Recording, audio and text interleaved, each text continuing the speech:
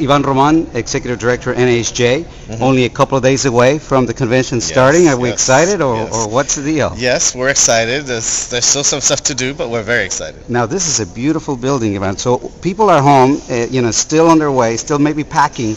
What are they, what should they expect? What can they do here? They should expect a great time and they should expect lots of learning.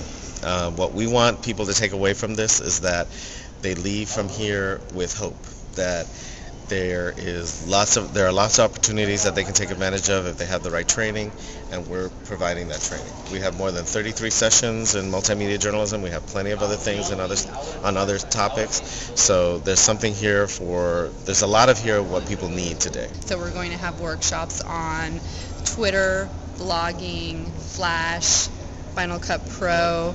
We're also having workshops on photography, lighting for videographers, producing live shots, in addition to a number of other special events and Newsmaker Luncheon.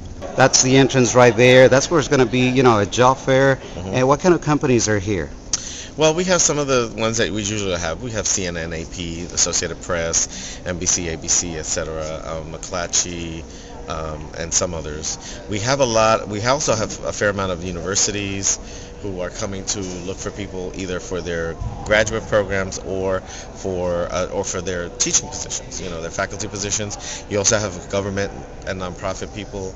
Uh, you know, the Census Bureau, et cetera, et cetera. I mean, you have a combination of all of those. Now, you may not get a job in two or three days, but you get something more valuable, networking. How important is that? Is that one of the reasons you should be here? That is key. That's that's one of the reasons you should be at every convention because you never know when the contacts that you have made will come in handy. Either because some you need them and you call them, or because they remember you and they remember they track you and they track your progress and then they remember you.